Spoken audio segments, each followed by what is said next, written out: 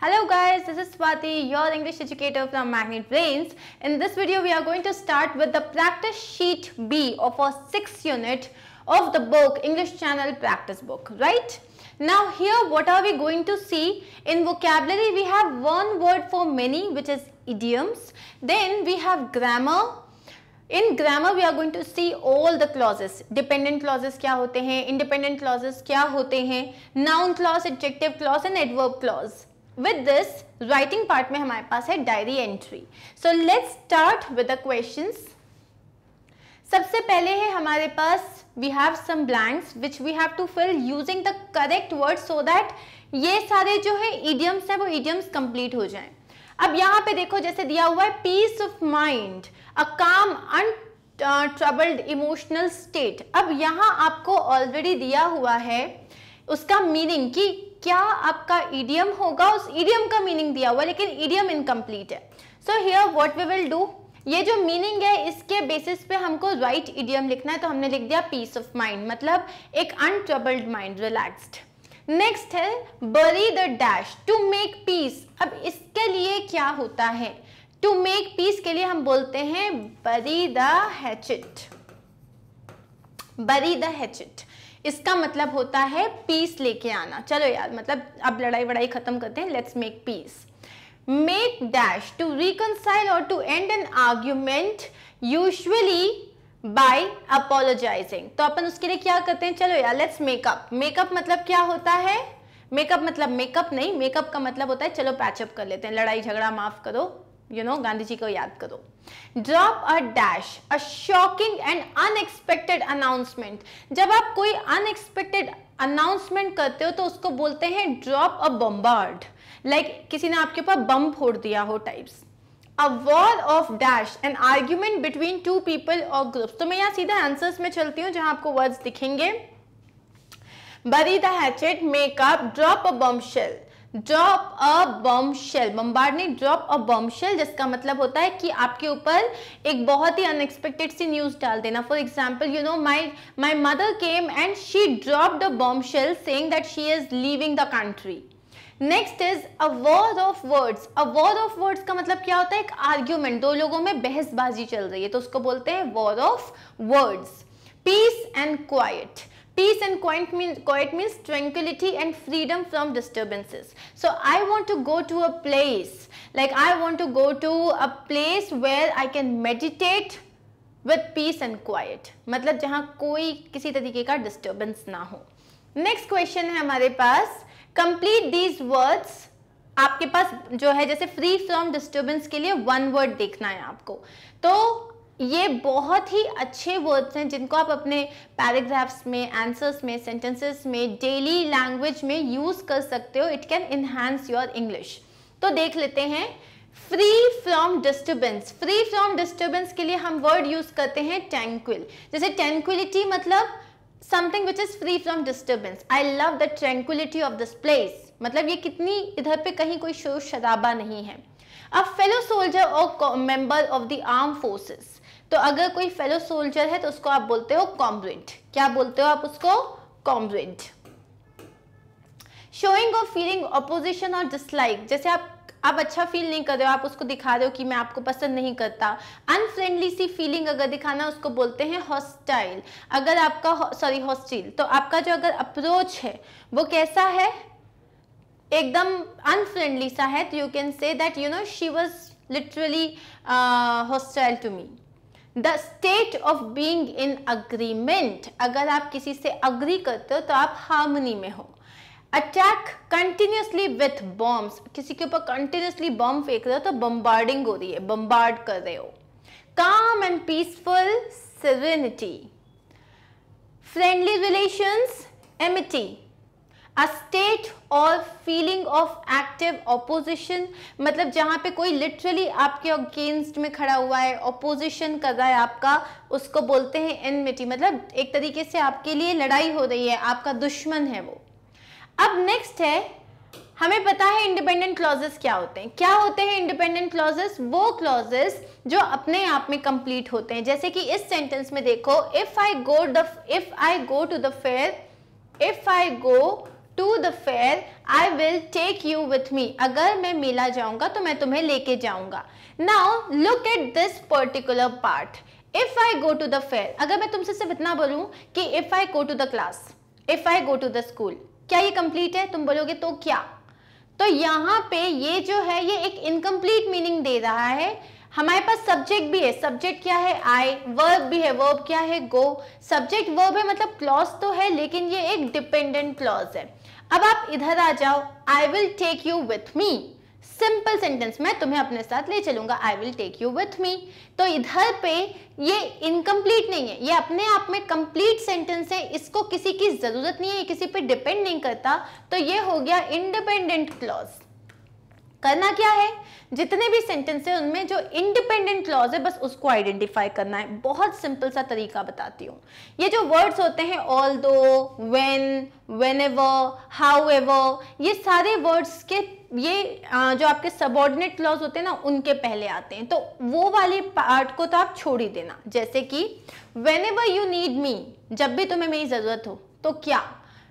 I am ready to help you मैं तुम्हारी मदद के लिए तैयार रहूँगा। तो अब ये जो है, पूरा आपका डिपेंडेंट क्लॉज है, इसको कर दिया हमने सर्कल और ये है इंडिपेंडेंट क्लॉज इसको कर दिया हमने underline although he was hungry again ये डिपेंडेंट क्लॉज है he did not ask for food उसने खाना नहीं मांगा।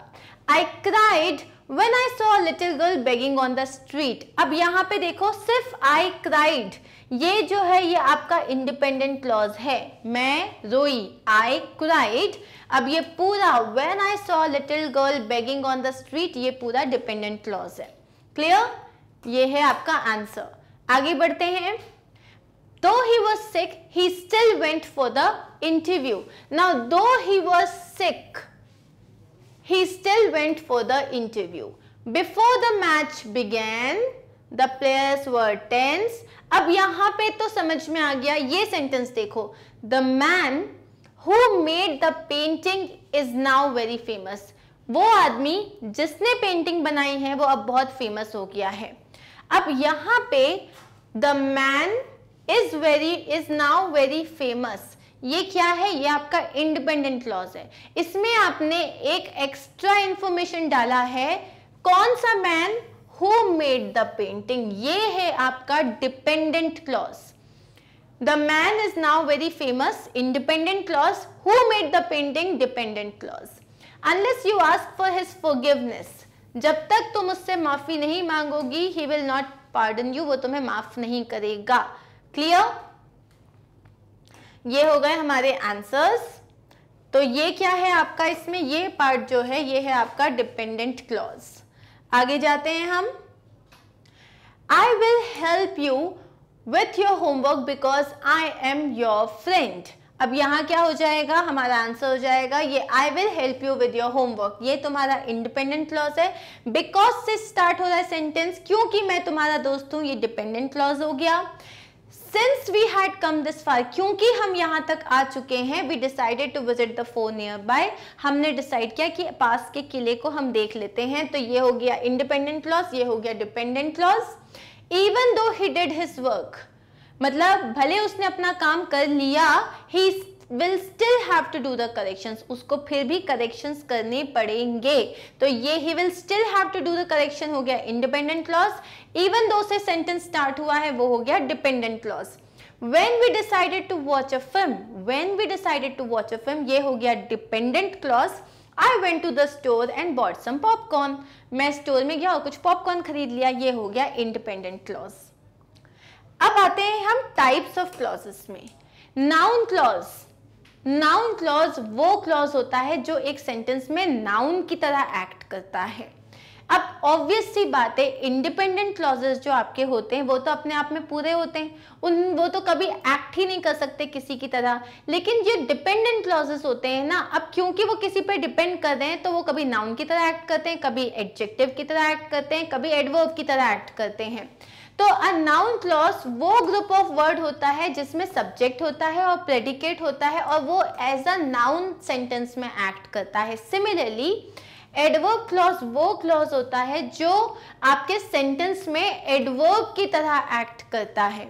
और एडजेक्टिव क्लॉज वो होता है जो सेंटेंस में एडजेक्टिव की तरह एक्ट कर रहा होता है। अब हम इसमें क्या करेंगे? इस चीज़ को समझने के लिए हम कुछ क्वेश्चन सॉल्व करेंगे। अब सबसे पहले आपको अंडरलाइन करने हैं क्लॉजेस को। अगर वो क्लॉज जो है नाउन है तो एन लिख देना एडजेक्टिव है तो ए एन लिख देना और एडवर्ब है तो आई I मीन mean, अगर वो नाउन है तो नाउन क्लॉज लिखो एडजेक्टिव है तो एडजेक्टिव क्लॉज लिखो एडवर्ब है तो एडवर्ब क्लॉज लिखो। पहले तो हम क्लॉज को आइडेंटिफाई करते हैं। आई थॉट वॉट शी वो वॉज़ वेरी एलिगेंट अब इसको प्लीज़ ध्यान से समझना। मैंने सोचा कि जो उसने पहना था, वो अच्छा लग रहा था, बहुत एलिगेंट था। तुमने कुछ सोचा? You thought what you thought what क्या सोचा तुमने? कोई चीज़ सोची ना? तो कोई चीज़ मतलब नाउन और ये नाउन है तो ये नाउन क्लॉज हो गया। तो तुमने कुछ सोचा, कोई चीज़ सोची और वो चीज़ बन गई तुम्हारा noun I think that our leaders can reduce party अब तुमने सोचा कि तुम्हारे जो पॉलिटिशियन लीडर्स हैं, वो पार्टी को खत्म कर सकते हैं। तुमने कुछ सोचा अगेन यू थॉट समथिंग ये पूरा का पूरा थिंग क्या हो गया? नाउन क्लॉज हो गया। नेक्स्ट देखते हैं। Which one is the boy who shouted in the class वो कौन सा लड़का है जिसने क्लास में शाउट किया था? अब यहाँ पे देखो which one is the boy यहाँ पे तुम बॉय के बारे में बात कर रहे हो। कौन सा लड़का था जिसने क्लास में शाउट किया था? मतलब जिसने भी तुम यहाँ पे बॉय के बारे में कुछ एक्स्ट्रा इंफॉर्मेशन दे रहे हो। Which one is the boy ये है पूरा। Who shouted in the class तो यहाँ पे क्या हो गया? Which one is the boy? Wait, i should not show you the answers right now. Okay. Which one is the boy who shouted in the class? अब यहाँ मैंने पूछा, वो कौन सा लड़का था? अब लड़के के बारे में मैं एक्स्ट्रा इंफॉर्मेशन क्या दे रही हूँ? Who shouted in the class तो ये क्या है? मैं एक्स्ट्रा इंफॉर्मेशन दे रही हूँ? मतलब उस बॉय के बारे में मैं कुछ ज़्यादा बता रही हूँ? जब मैं अपने नाउन के बारे में कुछ बता रही हूँ तो वो क्या हो जाएगा? वो हो जाएगा एडजेक्टिव क्लॉज अब है the players need to know what they should do the players need to know what players को क्या जानना चाहिए? व्हाट दे शुड डू तो ये क्या हो गया? They should they need to know something right तो ये समथिंग हो गया noun clause wherever there is a mountain there will be a river कहाँ पे होगी रिवर जहाँ पे भी माउंटेन होगा, वहाँ एक रिवर होगी. मतलब मैं एक प्लेस के बारे में बता रही हूँ। कहाँ होगी रिवर जहाँ पे माउंटेन होगा। तो मैं प्लेस की बात कर रही हूँ तो ये हो गया एडवर्ब क्लॉज यहाँ जाते हैं, हम अपने आंसर्स देखते हैं। ठीक है? आगे बढ़े। It is important to ask whether we are invited or not ये बहुत ज़रूरी है जानना। क्या? क्या जानना ज़रूरी है? वेदर वी आर इन्वाइटेड और नॉट ये क्या हो गया? आपका नाउन क्लॉज हो गया। My brother bullies me simply because he strong वो तुम्हें बुली करता है वाई वाई जो क्वेश्चन वाई को आंसर करते हैं, वो हो जाते हैं एडवर्ब क्लॉज तुम्हारा ब्रदर क्यों बुली करता है? सिंपली बिकॉज़ ही स्ट्रॉन्ग सिर्फ़ इसलिए क्योंकि वो स्ट्रॉन्ग है, ये हो गया adverb clause unless you have medicine you will not recover when क्यों? कब तक तुम रिकवर नहीं करोगे? कब तक नहीं करोगे जब तक तुम मेडिसिन नहीं खाते। तो अनलेस यू हैव मेडिसिन क्या हो गया? अगेन तुम्हें बता रहा है टिल वेन तो ये हो गया adverb clause the books which were available were very expensive वो बुक्स जो अवेलेबल थी, वो बहुत ज़्यादा एक्सपेंसिव थी। अब यहाँ देखो, कौन सी बुक्स जो कि बहुत जो अवेलेबल है? मैं बुक्स के बारे में नाउन के बारे में एक्स्ट्रा इंफॉर्मेशन दे रही हूँ, ये हो गया adjective clause That is the place where the Mughal and the British armies fought. Where did they fight? They fight there वहाँ, जहाँ पे वो वाला वो वाले प्लेस पे। तो अगेन प्लेस की बात हो रही है तो place where did something happen ये हमें एडवर्ब बता रहा है तो ये हो गया एडवर्ब क्लॉज क्लियर अब आते हैं हम। यहाँ हमें ये सेंटेंसेस दिए हैं। इन सेंटेंस को कंप्लीट करना है with an adjective clause adjective clause मतलब जैसे यहाँ पे मैंने बोला where is that bad you know where is this bed that had a that has a wooden bed post वो वाला uh, बिस्तर कहाँ है? वो वाला बेड कहाँ है जिसका एक वुडन बेड पोस्ट है? तो यहाँ पे इस नाउन के बारे में एक्स्ट्रा इंफॉर्मेशन मिल रही है। दिस इज़ द मैन इस मैन के बारे में आपको एक्स्ट्रा इंफॉर्मेशन देनी है। आई रिमेंबर द गार्डन उसके बारे में आपको इंफॉर्मेशन देनी है। We know the person she narrated an incident Jim had a little kitten the email conveyed the news and he told us a story तो आपको करना क्या है यहाँ पे? ये जितने भी मैंने नाउन को सर्कल किया है, इनके बारे में आपको एक क्लॉज लिखना है। मतलब ये एडजेक्टिव क्लॉज होगा, इनके बारे में एक्स्ट्रा इंफॉर्मेशन देनी है। तो ये देख लेते हैं हम अपने answers this is the man whose name is on the list कौन सा आदमी है वो जिसका नाम लिस्ट पे है? I remember the garden where two swings were placed where two swings were placed this is incomplete where two swings were placed we know the person who is named after you हमें वो आदमी पता है जिसका नाम तुम्हारे नाम के बाद रखा गया है। शी नरेटेड एन इंसिडेंट कौन सा incident that pained my soul जिसने मेरे सोल तक को पेन कर दिया। Jim had a little kitten whose nose was pink. कौन सी किटन थी? उसकी नोज़ पिंक कलर की थी। The email conveyed the news that ten people were fired वो जो ईमेल है, उसने ये न्यूज़ कौन सी न्यूज़ दी? कि दस लोगों को निकाल दिया गया। He told us a story that sounded well rehearsed उसने एक ऐसी स्टोरी बताई जो ऐसा लग रहा था बहुत बनावटी है, जो उसने बहुत रिहर्स करके बताई है। तो इस तरीके से देखो, इन सब में आपके पास ये सब क्लॉजेस हैं। सब में सब्जेक्ट है और सब में वर्ब है। नेम सब्जेक्ट है इज़ वर्ब हो गया। टू स्विंग्स तुम्हारा सब्जेक्ट हो गए वर्ब आपका क्या हो गया? वर्ब हो गया। इज़ तुम्हारा वर्ब है so we know the person who is यहाँ पे क्या है who is named after you जिसका नाम तुम्हारे नाम के बाद रखा गया है तो यहाँ पे हु क्या हो गया तुम्हारा सब्जेक्ट है एंड इज़ हो गया तुम्हारा वर्ब एंड नेम्ड जो है मेन वर्ब हो गया pained my soul pained what pained my soul that pained my soul तो यहाँ पे पेंड क्या हो गया वर्ब हो गया nose was pink whose nose was pink तो कौन सी किटन जिसकी नोज़ पिंक थी? टेन पीपल जो थे फायर हो चुके हैं। तो दस लोगों की बात हो रही है। सब्जेक्ट हो गया वर्ड आपका हेल्पिंग वर्ब हो गया। देवर फायर्ड मेन वर्ब हो गया। साउंडेड वेल रिहर्स्ड साउंडेड आपका वर्ब हो गया। And he told us a story that sounded well rehearsed वो साउंड कैसा कर रही थी? बहुत अच्छा साउंड कर रही थी। बहुत रिहर्स साउंड कर रही थी। यहाँ आपको क्या करना है? एडवर्ब क्लॉजेस जो हैं, उनको अंडरलाइन करना है। एडवर्ब क्लॉजेस वो होते हैं जो आपको बताते हैं कोई काम कहाँ हो रहा है, कोई काम कब हो रहा है, कोई काम क्यों हो रहा है, कितनी बार हो रहा है हाउ मेनी टाइम्स किस तरीके से हो रहा है हाउ और कितना ज़्यादा हो रहा है हाउ मच तो अगर ये एडवर्ब आपको ये सारे क्वेश्चंस को आंसर करते हैं तो अब हम देख लेते हैं इसमें। The girl ate a sandwich while being taught तो वो जो लड़की थी, उसने एक सैंडविच खाई पढ़ते पढ़ते मतलब वाइल बींग टॉट तो उसको पढ़ मतलब उसको जब उसको पढ़ाया जा रहा था, पढ़ा, तब कोई उसे पढ़ा रहा था और उसने पढ़ते पढ़ते एक सैंडविच खा ली।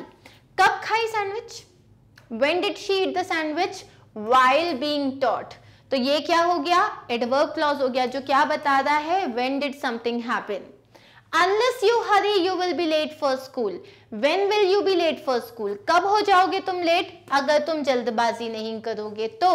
तो ये भी आपका एडवर्ब क्लॉज हो गया। वेन को ही आंसर कर रहा है। Since he has long hair he makes a ponytail. Now the question is why does he make a ponytail? वो ponytail क्यों बनाता है? So, ये है क्योंकि उसके लंबे बाल हैं। ये कौन से क्वेश्चन को आंसर कर रहा है? Why does he do that wherever there is smoke people will expect fire where will people expect fire कहाँ पे फायर एक्सपेक्ट करेंगे? जहाँ पे भी स्मोक होगी। तो यहाँ पे कौन से क्वेश्चन को आंसर कर रहे हैं? वेयर क्लियर नेक्स्ट देखो। यू कैन ईट तो ये हमने सारे आंसर्स लिख दिए हैं। When the clock strikes midnight she has to leave उसको कब निकलना है? When does she have to leave when the clock strikes midnight कौन से क्वेश्चन को आंसर कर रहा है? When before the packing is done we will label the boxes packing होने से पहले हम लेबल को बॉक्सेस को लेबल कर देंगे। When will you label the boxes packing होने से पहले। ये क्या हो गया? अगेन वेन को आंसर कर रहा है एडवर्ब क्लॉज हो गया। We will go to meet the principal even if he is angry. We will go to meet the principal even if he is angry. तो यहाँ पे के कौन सा होगा? हम जो है प्रिंसिपल को मिलने जाएँगे even if he is angry अगर वो गुस्सा है तब भी हम मिलने जाएँगे। सो so, यहाँ पे आप when when will you go to meet him even if he is angry if you clean your room you can find your things easily how can you find your things easily कैसे? If you clean your room तो यहाँ पे क्या हो गया? Question आ गया. How she did not get wet because she was carrying an umbrella why didn't she get wet वो गीली क्यों नहीं हुई? अब because she was carrying an umbrella क्यों गीली नहीं हुई? क्योंकि वो एक अम्ब्रेला कैरी कर रही थी. तो ये हो गया वाई का रीजन और ये हो गया आपका एडवर्ब क्लियर ये रहे हमारे आंसर्स अब आपके पास है डायरी राइटिंग तो डायरी राइटिंग का टॉपिक ये है that suppose it's republic day republic day में आप स्कूल गए, आपको वहाँ बहुत अच्छा लगा. You really enjoyed the day वहाँ पे बहुत सारे कॉम्पिटिशन्स हुए और नेशनल सॉन्ग गाया गया. चीफ गेस्ट आए थे. And you won may be you won prizes और अदर्स वन प्राइजेस तो आपको इसका पूरा डिटेल डिस्क्रिप्शन देना है। और एग्जैक्टली exactly कब कौन सी चीज़ हुई, उसे क्रोनोलॉजिकल ऑर्डर में लिखना है। क्रोनोलॉजिकल ऑर्डर का मतलब होता है एक के बाद एक इवेंट आपको लिखना है। तो ये रहा हमारा आंसर सबसे ऊपर मैंने क्या लिखा है? सबसे ऊपर मैंने डाला डे कि आज कौन सा डे है? फिर मैंने डाला है डेट और टाइम डाला।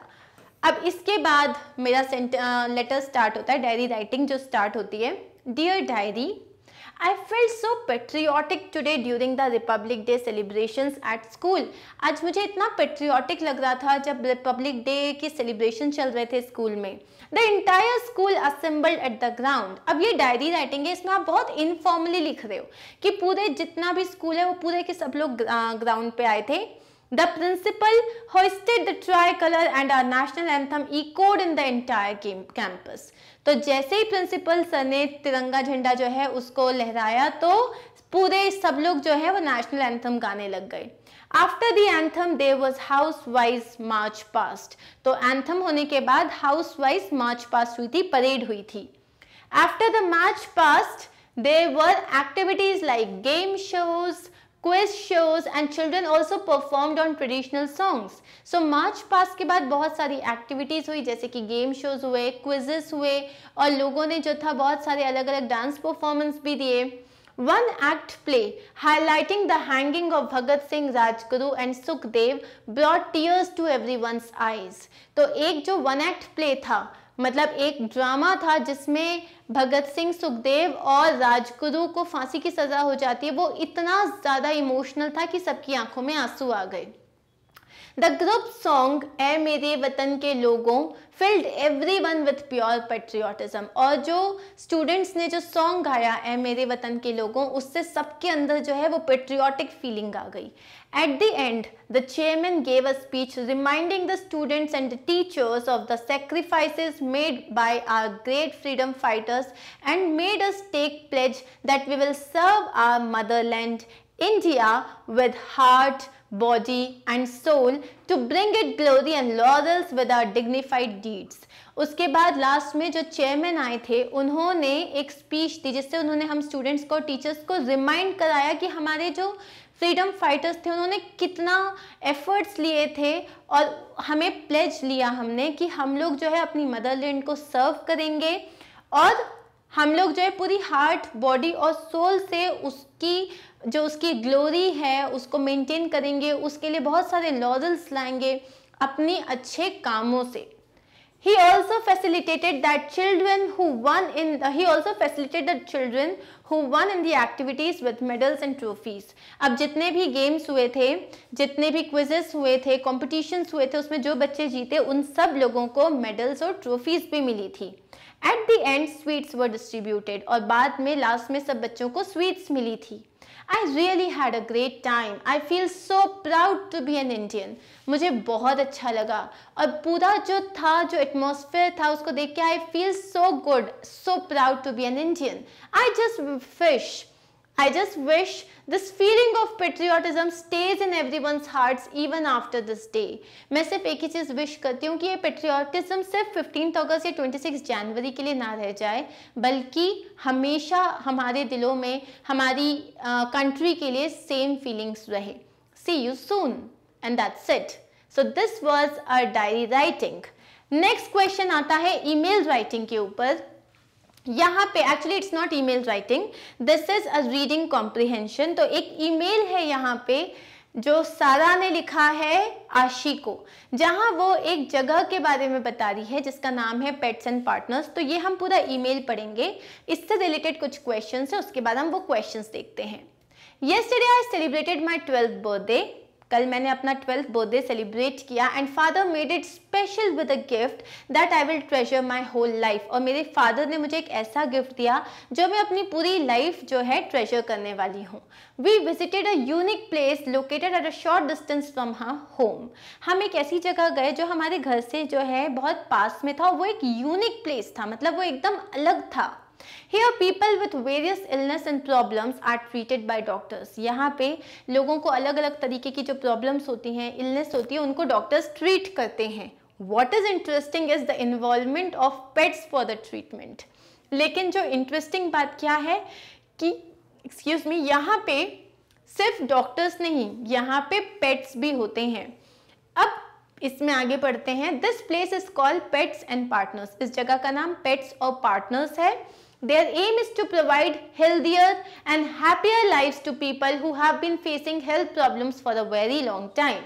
इनका एम क्या है जो लोग बहुत टाइम से बीमार है उनको एक हेल्थियर और हैप्पियर लाइफ देने का It has been found through various researches that people with pets at home are healthier than those without pets. तो researchers ने ये find out किया है कि जिन लोगों के घर में pets होते हैं उनकी life ज़्यादा healthier होती है happier होती है compared to those जिनके घर में pets नहीं होते They encourage, they encourage the elderly and people suffering from depression to interact with specially trained animals to regain their physical and mental health. तो वहाँ पे जितने भी बूढ़े लोग आते हैं या ऐसे लोग आते हैं जिनको डिप्रेशन है वो इन पेट्स के साथ जब इंटरेक्ट करते हैं तो वापस उनकी जो मेंटल और फ़िज़िकल एनर्जी uh, है वो वापस आ जाती है।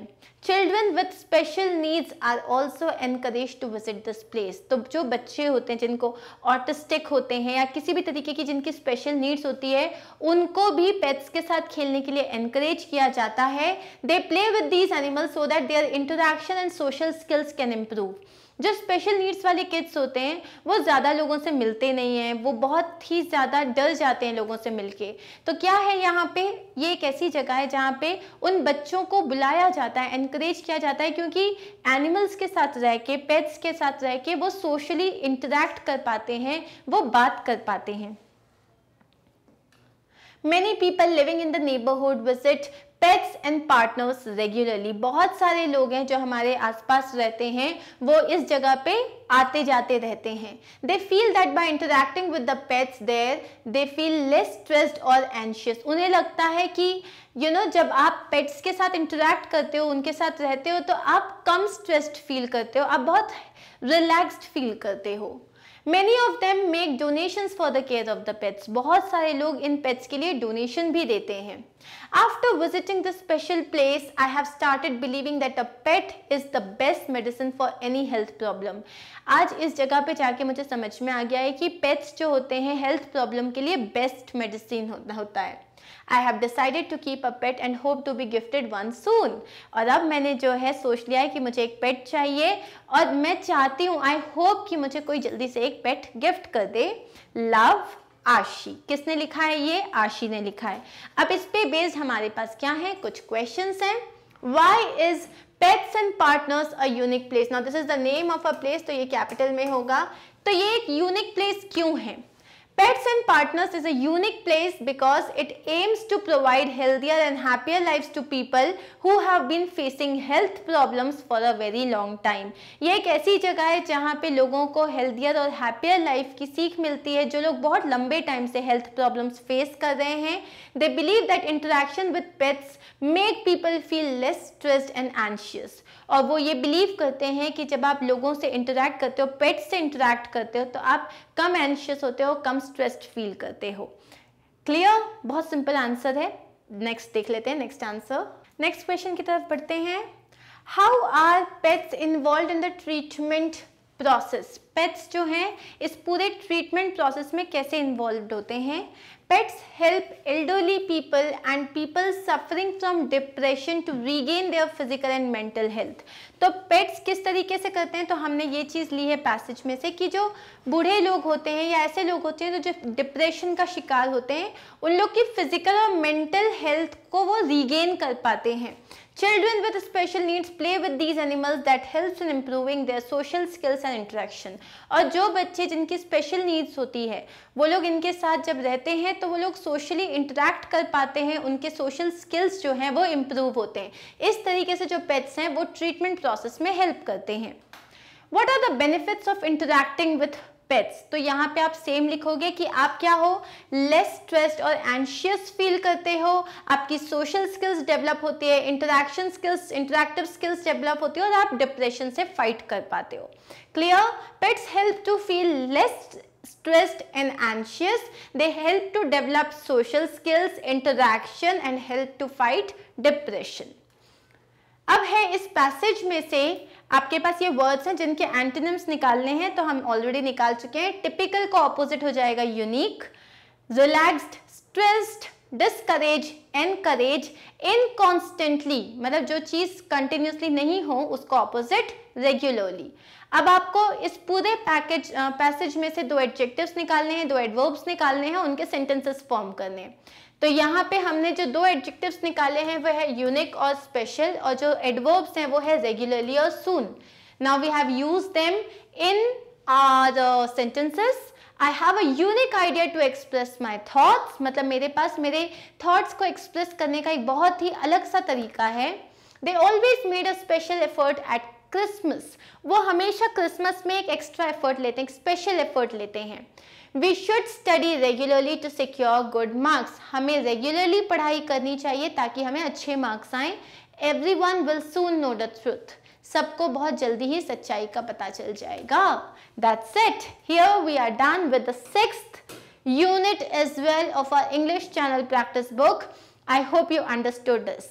And in the description box, you will find the links to all the clauses. कि क्लॉजेस को किस तरीके से आप लिखते हो मतलब किस तरीके से डिटरमाइन करते हो कि ये नाउन क्लॉज है एडवर्ब क्लॉज है एडजेक्टिव क्लॉज है। और किस तरीके से आपके पास और कुछ एक्सरसाइजेस भी हैं जो आप कर सकते हो। तो ये तो एक वीडियो हो गया। इसके अलावा डायरी राइटिंग का फॉर्मेट क्या होता है, किस तरीके से आप लिखते हो, उसके भी कुछ एग्जाम्पल्स हैं तो वो भी हम दिखेंगे। Clear of course not we are not over yet because I have to tell you about the website magnet brains dot com, जहाँ जाके आप सारे वीडियोस को बहुत ही आसानी से देख सकते हैं। You just have to go to the courses आप क्लास पे क्लिक कीजिए सब्जेक्ट्स अपेयर हो जाएँगे। जो भी सब्जेक्ट आपको पढ़ना है, उस पर क्लिक कीजिए। उसके बाद आपके सारे टॉपिक्स अपेयर हो जाएँगे। आपको जो टॉपिक पढ़ना है, उस टॉपिक पे आप क्लिक करोगे and the topic will start the video will start that is it So we are done here guys and now it's time to say bye bye. Thank you for watching. If you like the video, do not forget to like, share and subscribe. Thank you. Bye.